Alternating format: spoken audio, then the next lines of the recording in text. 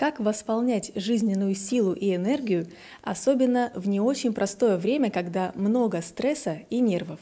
Заранее огромное спасибо за ответ.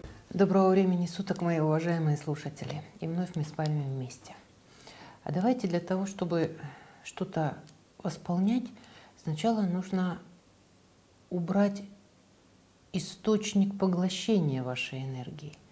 Если мы сегодня возьмем наше, как вы говорите, или пишете, или задаете вопрос «непростое время», и посмотрим на всю эту картинку непредвзято, то у нас получается обыденность такая, как всегда.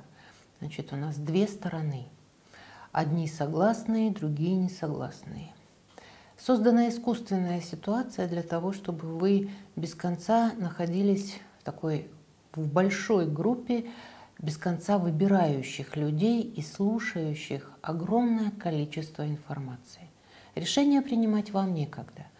В плане мы все не такие великие специалисты, которые могли бы компетентно собственное мнение для себя обосновать.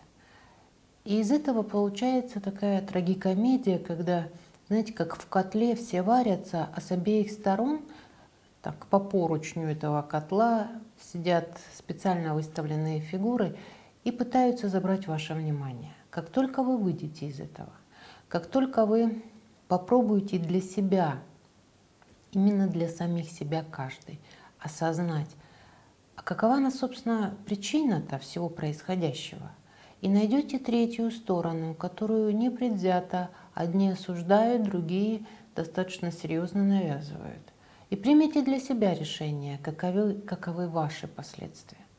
Я не буду вас э, в ту или иную сторону направлять, потому что как только вы на кого-то перекладываете ответственность и думаете, кто-то сказал та ли, тот ли, то в этот момент ваше решение, оно не истинное, не настоящее. И при любом развитии событий вы всегда будете или сбегать, или падать, или биться, или убиться – Опять две крайности. Так вот, я готова обсудить эту тему, наверное, в более такой конкретной ситуации или в конкретной беседе по отношению к каждому человеку или тем, с теми людьми, которые, в принципе, хотя бы немножко позанимались. Не просто слушаете ужастики, а адекватно воспринимаете, куда же э, эти две стороны, эти два направления каждого из нас ведут. И только в этом случае, после достаточно серьезной такой умственной работы, можно принимать решение о том, что какую сторону вообще вы принимаете.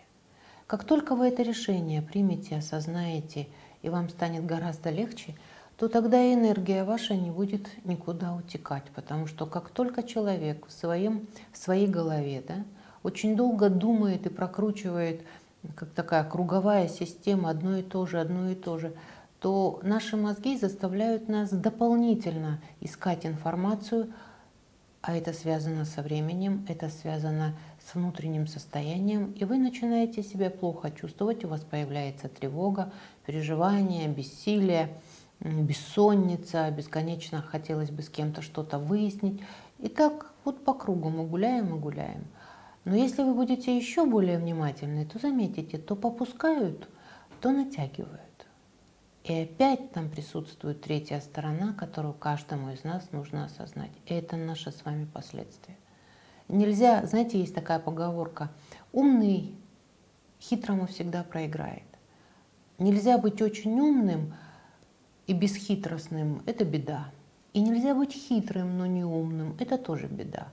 Вот нужно соединить эти две вещи, и тогда вы точно для себя определите, каково же ваше решение и каковы же на основании этого будут ваши последствия. И энергия перестанет вытекать из вас, вы перестанете собирать бесконечность информации, вам станет легче, и вы увидите свой собственный такой векторный путь своего же развития. У каждого из нас разная информация и разная ситуация на сейчас по жизни – и вот в зависимости от того, как вы хотите, чтобы ваша ситуация развивалась, нужно и принимать решение.